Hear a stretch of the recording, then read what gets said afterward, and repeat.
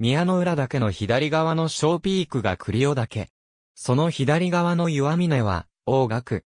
栗尾岳は、屋久島の宮の浦岳山頂南東側に位置する山で、ある。標高は、屋久島及び九州において3番目の高峰であるが、独立した山ではなく宮の浦岳山腹の和峰と呼ぶべきものである。宮の浦岳、長田岳及び栗尾岳は、薬味岳とされ、これは、天保14年観光の三国名称図絵による、三岳の記述に基づくが、三国名称図絵の記す栗、声楽の位置は、現在の栗尾岳ではなく、黒見岳であるとする説もある。山腹は一面の薬座さに覆われ、巨大な花崗岩が点在する。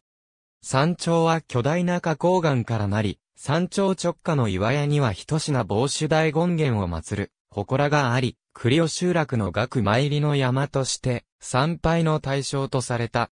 安房から林道を登り、淀川登山口から宮の浦岳へ向かう登山道に入り、淀川小屋、小花の江川及び花の江川を経て山頂に至る。